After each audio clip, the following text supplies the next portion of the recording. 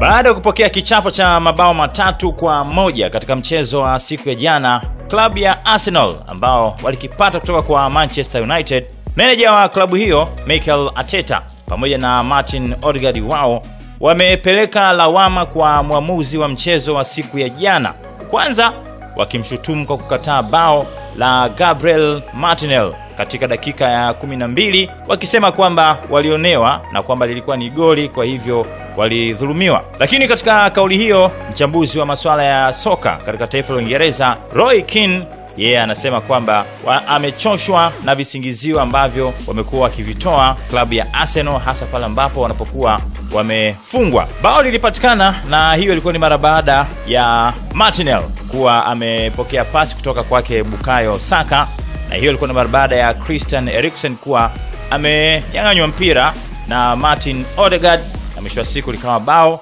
lakini hata hivyo haikuwa tena ni goli, na hiyo ilikuwa ni mara baada ya referee yeye kuwa amesema sio goli, licha ya kwamba taarifa zinasema kwamba yule mwamuzi ambaye alikuwa katika VAR alimshauri refari waende wakatazame, lakini pia alisema kwamba halikuwa goli. Lakini mbali na hivyo, Ateta ameendelea kuzungumza akizungumzia baadhi ya fouls tofauti tofauti ambazo anaamini pia kwa upande wao walistahili kuzipata, lakini refalia akawa kidogo hakuwapa nafasi hiyo, na mwisho wa siku akatokea hayo ambayo yametokea. Nikimnukuu hapa, Mikel ateta anasema kwamba tofauti na kunyimwa bao kisha kulikuwa na penalty kwa Bukayo Saka na tyron Mings, lakini ilionekana kama hakuna ambacho kilifanyika. Faulo nyingi pia zilifanyika, kulikuwa na rafu kali na hakuna kadi za njano kwa sababu ya kitu kidogo tu kinachoitwa kuwa ni mechi kubwa. Ni vigumu sana kukubali, amesema Mikel ateta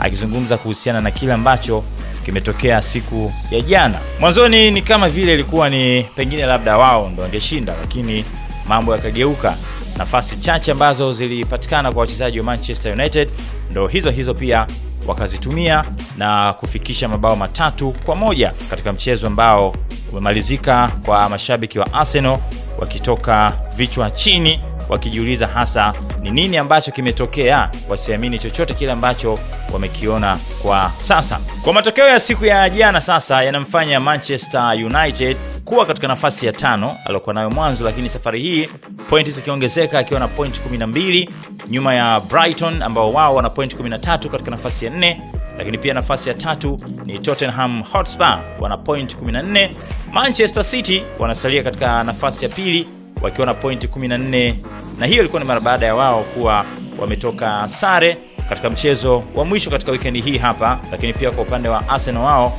wakisalia katika nafasi ya kwanza ile ile wakiwa na pointi zao 15, ukiwa hakuna ongezeko la pointi nyingine kwa sababu tayari pointi tatu zote zimekwisha kuondoka. Chelsea wao wako nafasi ya sita wakiwa na pointi kumi Liverpool nafasi ya saba wakiwa na point 9, lakini mwisho kabisa kule chini, nafasi ya mwisho, nafasi ya 20 anaishikilia Leicester City akiwa na pointi moja tu mkononi mwake, lakini Nottingham Forest wao wakiwa na pointi 4 katika nafasi ya 19. Hicho ndicho ambacho kinaendelea katika upande mzima wa ligi kuu katika taifa la Uingereza. Unaweza ukapita katika chati ukatazama hata timu nyingine zote ambazo sikuzitaja hapa Fulham, Newcastle, Southampton, Bournemouth, Wolves, Crystal Palace na nyingine huko, utapata majibu wao wapo katika nafasi ya ngapi.